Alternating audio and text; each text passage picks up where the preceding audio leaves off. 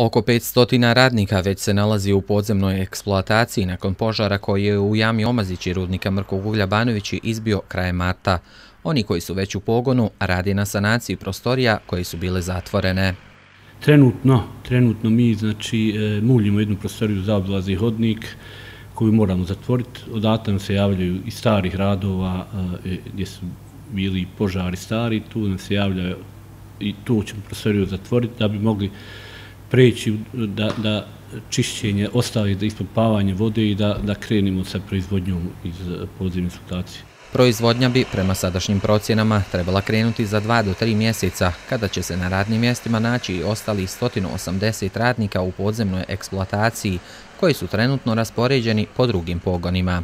Očekujem, znači, evo, znači, naredni desetak dana, da bi mogu i federalni inspektor da uđe, da utvrdi uzroke požara, znači čim steknu se uslovi da bezbjedno silaženje federalnog inspektora, to će omogućiti i posle toga onda mi krećemo sa daljim radovima gdje će nam dati smjernice za dalje postupanje. Od požara u jami Omazići nije bilo proizvodnji, međutim rudnik je to uspio nadomjestiti proizvodnjom na površinskoj eksploataciji, pa su ostvareni i više nego pozitivni rezultati. Mogu, mogu slobodno reći o, o, o, da od postojanja rudnika nikad nije bilo u prvih šest mjeseci proizvodnja, to je neki 99% je ispunjenje plana.